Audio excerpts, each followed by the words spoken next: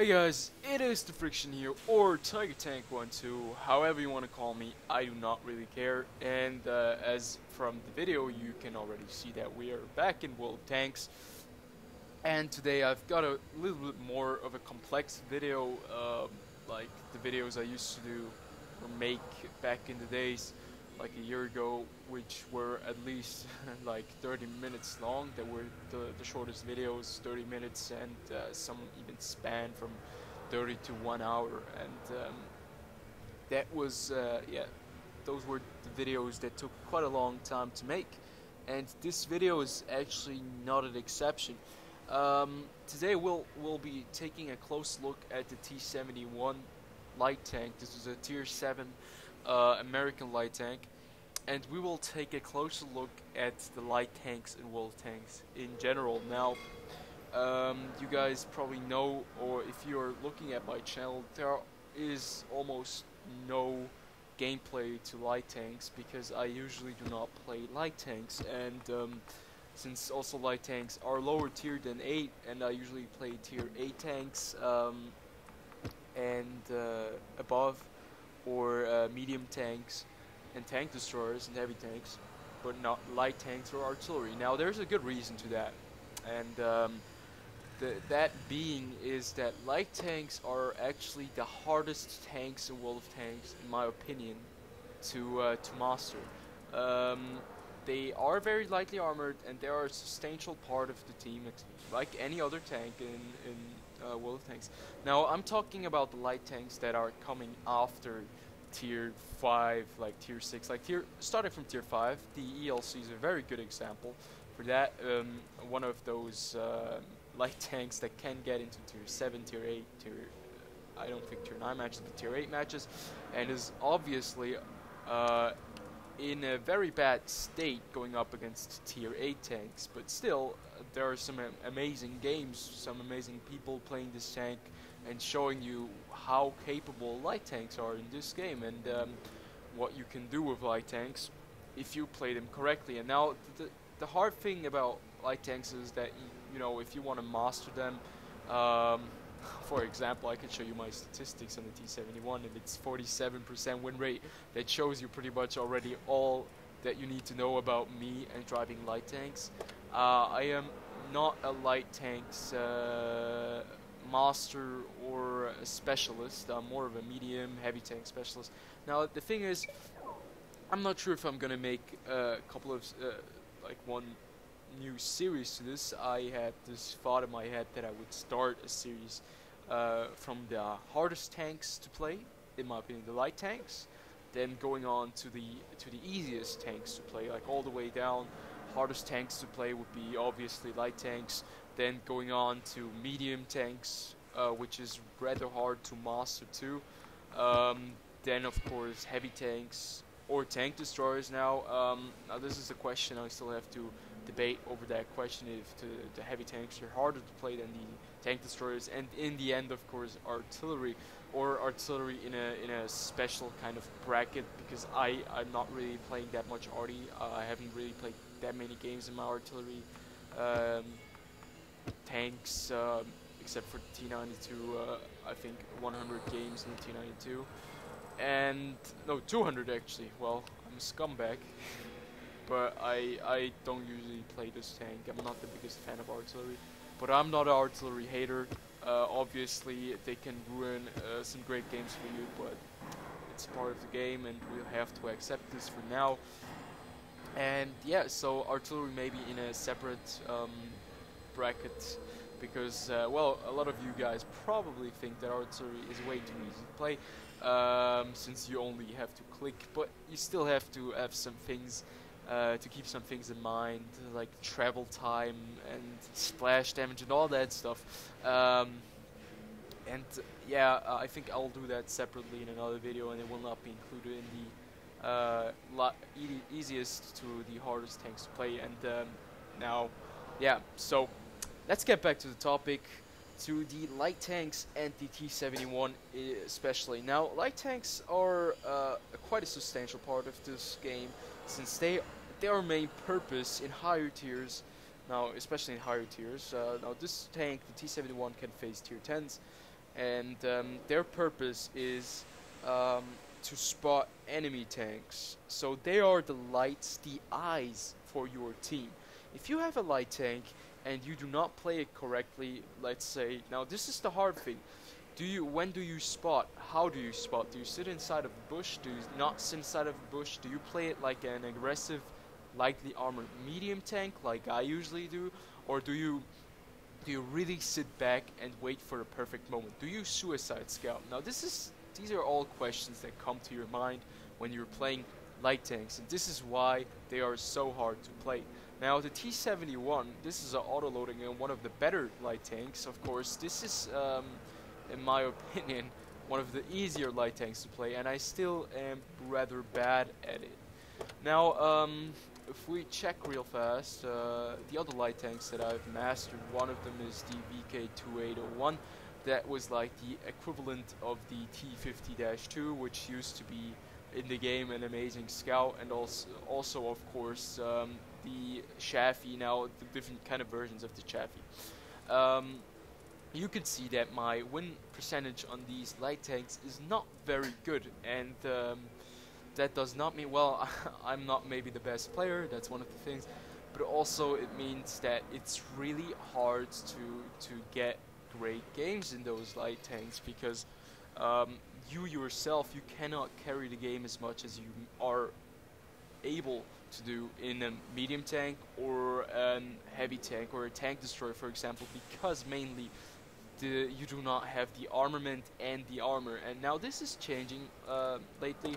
Uh, of course, not the um, armor factor. Light tanks are still lightly armored. That's why they're called light tanks. They do have the speed that the heavy tanks, the medium tanks, and the tank destroyers uh, lack. But still, now they have um, the guns. Now the prime examples for that is RU251.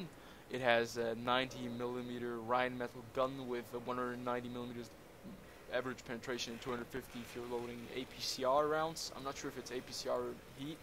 Uh, looking at the gun, I think it's rather heat. And uh, you'll be able to penetrate um, tier 9s and tier, tier 10s, tier 9s, tier 8s easily um, if you aim at the weak spots and if you flank them. Uh, now, if you look at the T-54 lightweight, the Russian um, Tier 8 Scout, it has a 100 millimeter, uh, which has like the average penetration of the T-44 gun and the stock T-54 gun. And now this this is pretty much the thing. Light tanks are really hard to to master. Um, I myself have mastered none of the light tanks pretty much. Um, I always have tried to get the ELC and uh, well I had a lot of fun with the ELC, some great games with the ELC. If we look at the stats on the ELC I think they're better than on some other tanks. Let's look at the nation. And ELC is right here, 61% but not mastery badge. Um, so this is this is a question. Um, light tanks do play such a vital role in this game because they are the eye, the eyes for the for your team. Uh, if you do not have any light tanks, the medium tanks will go scout, and these guys, of course, everybody has their own role. Medium tanks are there; uh, they do have better armor, they have a better armament, but they're uh, slightly less faster. They're slower than the light tanks, and they're able to still be rather fast, flank around the enemy, uh, divert uh, like when the heavy tanks there I'm gonna say like this okay? There are different roles to every tank in this game to every tank type. Heavy tanks are there to control with their big armor and their great armament. They're there to um, take the biggest brunt of the offense uh, or the the attack they are the first wave the first front line um, and you'll be engaging with this tank uh, head on. Um, you do not have the mobility to flank usually, except if you're like, for example, the IS-3 or AMX 5100. But this is not really a heavy tank from the armor type. Um, but you do have the great armament, so you'll be going head on. Now the next uh, tank in line uh, that is coming is the medium tank. The medium tank is there to support the heavy tank. While the heavy tank is engaging uh, enemy up front, the medium tank swoops around with its great armament, is able to put um, some really high amount of damage into the enemy and um, is able to flank them and pretty much take care of the rest. Uh, the, with the speed and the, the mobility and uh, like for example with uh, with a pack you'll be able to get behind them and take them out rather easily while your heavy tank are uh, while your heavy tanks are keeping them busy in front now the heavy tanks now there's another tank type um, the tank destroyers. The tank destroyers are not as well armed as the heavy tanks, but their armament is the best in the game, uh, next to artillery. Um, their guns are the biggest guns in the game. They do the most damage, and they're there to take out the heavy tanks, to counter the heavy tanks, but from a safe distance usually. Now the SU-152 is not a great example for that. Neither is the SU-122-44 because that tank is absolutely overpowered. And now this is the E3. Now this E3 it does have much more armor than um, a heavy tank and it's a lot better armored and now it kind of changes that the, the, the armor changes from the uh, early on lightly armored to the uh, late heavily armored tank destroyer uh, and since they have changed this quite a lot since the tank destroyers are not able to sit in a bush and fire 200 meters away from you and not being lit. Now they changed it, and it's correct that you you light the tanks when they fire behind the bush, um, especially the tank destroyers who had like a massive amount of camo.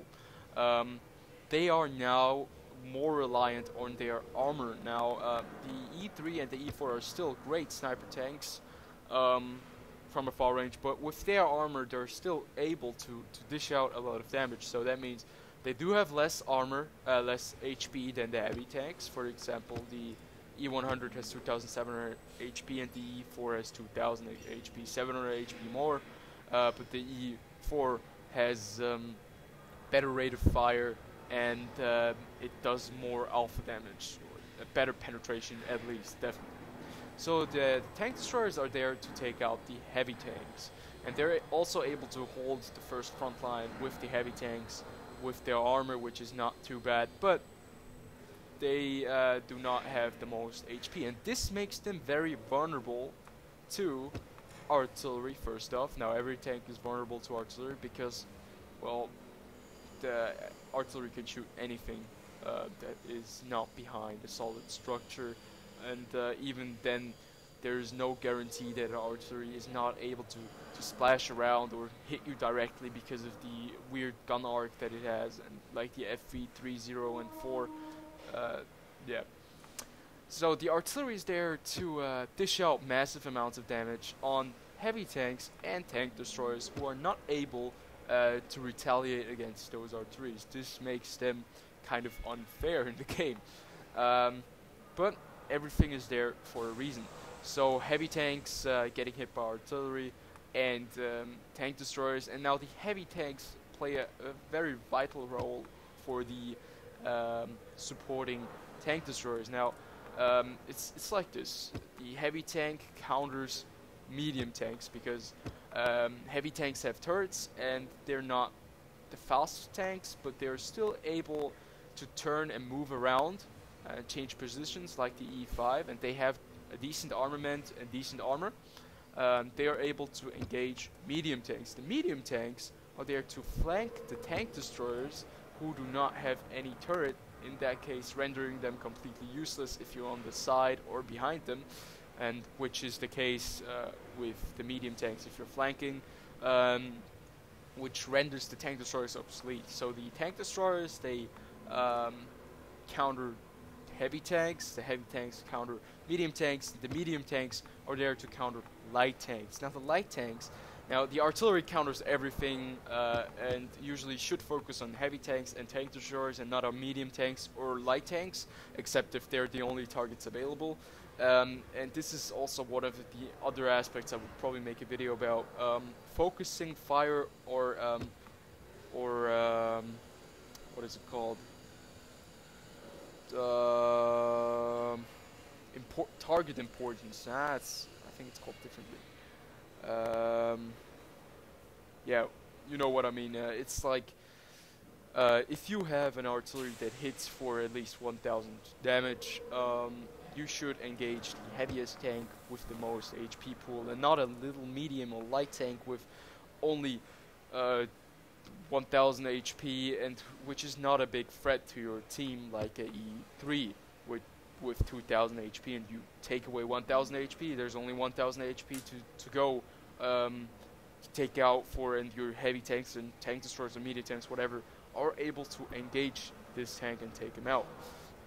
Now this is very important, but this is a complete other video, uh, and uh, it's, it's, something that I see happening often, not just with artillery, but also with hard-hitting tanks like tank destroyers. And um, yeah, that is very important. So light tanks. Now this is the dilemma of the light tank. The light tank is fast. It has a good gun, like for example the T-71, but it meets a lot higher tiers. Now the T-71, if you look at it from a light tank perspective, and then if you put it into matchmaking, it's like a tier 8, since it can face tier 10 tanks. Um, but the thing is that light tanks do not have a lot of armor, they do not have a lot of HP, they do not have um, a lot of, uh, or the best guns, but the guns are more decent now. Um, but what they do have is most of the time amazing view range, uh, speed, and mobility.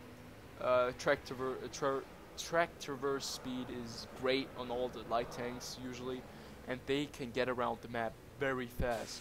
Now, that means that the light tanks can get into a position very early on in the game, um, spot the enemy tanks, giving potential targets for medium heavy tanks, tank destroyers, and um, artillery, of course. And that is very vital. Now, if you do not have eyes, you cannot shoot something that you don't see. And um, if the light tanks do not, uh, if the light tanks fail early on in the game, the medium tanks have to take over, or heavy tanks or tank destroyers, they have to go scout. And this, of course, um, is a huge, a huge backdraw, uh, backdraw for your entire team. Since uh, now, if you look at the medium tanks, of course, have um, some of them have really good view range, uh, view ranges, but the tank destroyers are just going to get totally wrecked. Now, this is tier 10, but if you get into a tier 9 match where the view range is like 300 or something like that, um, you will totally get wrecked if there is a light tank on the enemy team just spotting. Now, this is why it's so hard. If you're spotting with the light tank, there are um, possibility. There, there are moments where you have to differentiate. Do you sit inside of a bush, sit there with binos, uh, binoculars, and a camo net, and see uh, and spot for your team, or do you go up close, make a run, uh, maybe get lit yourself, but you will light a lot more tanks, maybe. Uh, now, this is these are all um, things that are rather important in World of Tanks. And I myself, I'm not a good scout. Uh, I will show you a gameplay right after. And uh, I like to play this tank as a small or medium tank, which is pretty much the wrong thing to do. Um, it is it is possible in the new light tanks, for example, the T71 with the auto-loading gun, or the M41. If you are very careful of not getting hit, you're able to dish out a lot of damage. Um, still nonetheless because they think you're a light tank, which is sometimes even um, um, yeah, sometimes it's uh, not even a back. Uh, what is it called? Just forgot it. Oh, doesn't matter. Sometimes people ignore you um, if you're in a light tank because they think you cannot harm them at all. So you can flank around and you can dish out massive amounts of damage, especially in the T71 with uh, those 10 shots or whatever, 8 shots in, in the magazine, you can do at least 1,400 damage, and um, people sometimes just forget that, and um, that is really, uh, yeah, that's great for the light tank driver. So, um, yeah, light tanks and their specific role in the game, um, I think that's covered. So let's take a look at the T71, a close look at the T71. Now, uh, I'm making it rather easy for myself because this is a, me, uh, a light tank that is very, very powerful, in my opinion. It has an autoloader and um, it is one of those light tanks that is it's kind of the exception. You can really do a lot of damage with this light tank. But if you're sitting in a light tank, now also the French light tanks are rather fast and rather strong too because they are autoloaders too. But if you're sitting inside of an Aufklärungspanther, uh, Aufklärungspanzer, Panther, um, this tank, it does not have an autoloader gun, it has a huge profile, but it's rather fast. Now the thing is, it's really hard to master this tank. Uh, it does have a fast fire rate, a good gun I heard, um, a 75, what is it called? Uh, here, 75, uh, with average penetration of 157 millimeters, and it also has APCR rounds. So um, it's gonna be rather hard with this tank since it has a huge profile and it's really big. So it's uh, a little bit more easy for me with the T71, for example. Um, so this tank has 840 uh, hit points, which is not a lot, but for a light tank is pretty much the standard. It weighs not much with um, 20 tons maximum. Uh, so that means if you get rammed by anything, you're instantly dead. Uh, do not ram anything. Uh, it happened to me that I sometimes drove into like suicide scouting and I drove into a heavy tank and I gave that guy a, free kill, 840 damage, and I maybe did 50 damage to him.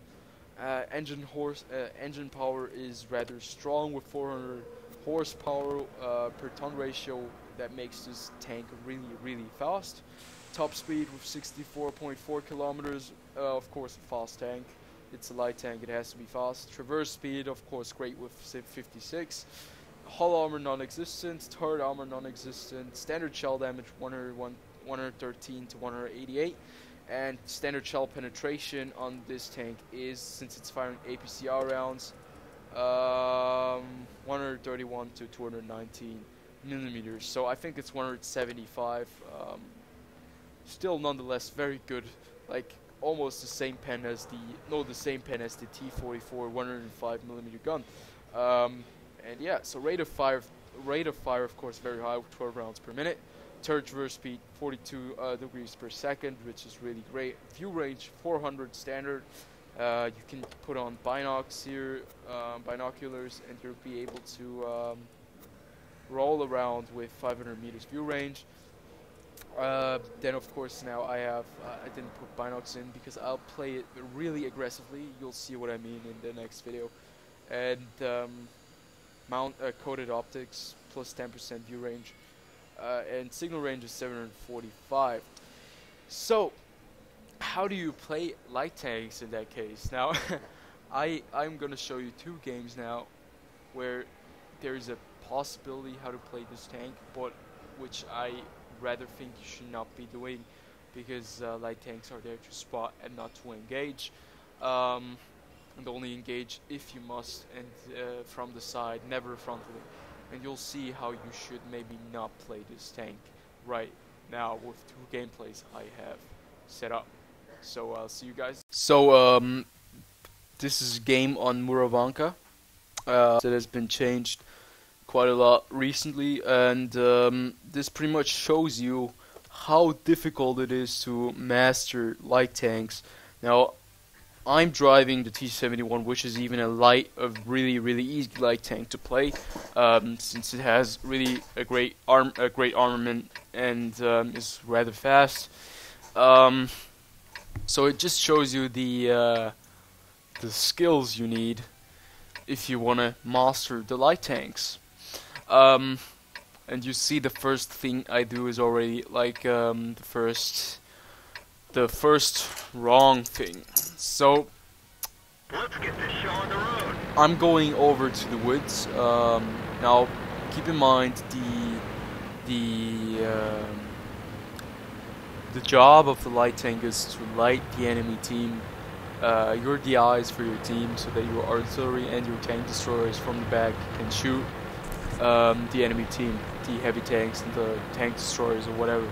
And you can see we have four or five tank destroyers, six tank destroyers actually, uh, which is already more, well, two thirds, no, uh, one third of the team, and um, you can already see that actually my job would have been to go over to the one or two line and uh, get into a nice bush and sit there and uh, spot for my team because um, there is going to be a quite big amount of uh, heavy tanks coming and you'll see that just in a second. So right now the thing is what I did wrong right here is that I played this tank not like um, not like an light tank, but more like a, a, very lightly armored medium tank. And this is one problem that um, a lot of people, or the one thing that a lot of people do when they're playing light tanks, they kind of tend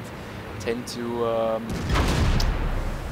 uh, tend to play a little bit too aggressively. Uh, they become um, too self self-assured of themselves.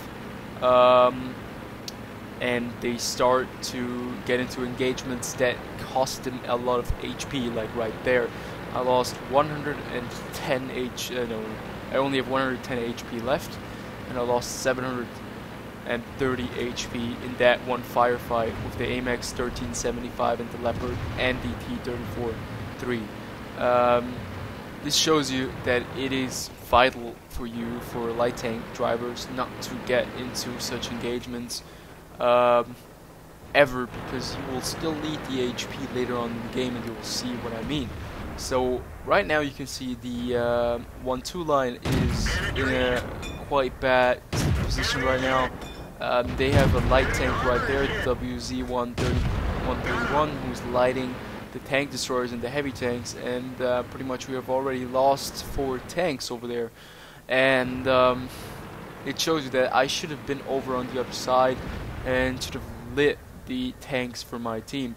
Now the thing is, uh, I thought that we would need more help over here because we didn't have a lot of tanks at first, and we kind of lost that T-34 because he kind of he pushed very aggressively in there all by himself, and we didn't support him because we were uh, all sitting in the back uh, because we couldn't push over there. We didn't have the HP and. Um, the gun person to take him out. So that was pretty much a suicide move that I got. Uh, so right now you can see I'm playing this tank more like a sniper medium now, sitting in the back and sniping the uh, IS-2. And uh, we're losing at the same time we're losing the one-two line, and this is this is the thing. Now you're in, sitting in a in a light tank, you can have all the skill you want, but you are very reliant of your team. Um, you have to rely on them because they have the HP and you do, you just do not have the HP or um, the uh, the armor. Now I do have the great gun and that means I can move around and flank the guys, but um, it will not help me if uh, I have to get into engagement engagement with at least uh, seven tanks and I flank them. There's still going to be one or two tanks that going turn around and will engage me. So you can see we kind of lost the 1-2 line. Um, the heavy tanks, the tank destroyers broken through. We have only got one ISU left there in the artillery. And I realized that we have to go back to base and defend it. So right now I make one big mistake and that is I actually wanted to go flank the enemy and now this is this is also one of those aspects of the light tank driver um, what do you do in such a situation? Do you go back to base? Do you go hunt artillery? I've seen that quite often that people go hunt artillery in that time or do you flank the guys or do you as I just keep on moving and uh, keep on shooting whatever comes in your path and um, this pretty much proves to me that I kind of uh, failed as a light tank driver uh, because I have done the exact wrong thing. Wrong thing. I have focused more on damage than on um, winning the game or defending um, the base, and pretty much already losing uh, because I did not do the right thing at the beginning of the match and did not get to the right position. And this is exactly what's so important as a light tank driver, that you know where you're going, that you know what you're doing, and that you know the responsibility that you have for your entire team because these tank destroyers, this is a perfect example right now. They can only spot these guys if they're really close by, and right now he has no eyes. Uh, he can shoot the WZ 131 while he's lighting all these guys or both of the tank destroyers and he can't see any other guy shooting at him. And this shows you that this WZ131 pretty much did it exactly correctly and he went with the team. He lit for the team and um, pretty much won the game for the team. Now this is always the problem that a lot of people that play uh, light tanks play them like small medium tanks. And I cannot blame them because I do the exact same. And that's just why they are so hard to master. And I would say this pretty much uh, sums up the entire light tank debate um, the, ha the hardest tank or the hardest tank to play. And that's definitely the light tanks. Um, in my opinion. And I would really like to know what you think is the hardest type of tank to play. And um, yeah, I'll maybe make some videos about the other uh, tanks, like medium tanks, why I think medium, tank medium tanks are the closest uh, to hard to play, like the light tanks. So yeah, uh, I hope you enjoyed this video. If you did, um, yeah, that's nice. if you did, uh, like, comment, I don't know, subscribe. Um, if you didn't like it, dislike it. Um, yeah, so I'll see you guys some other day.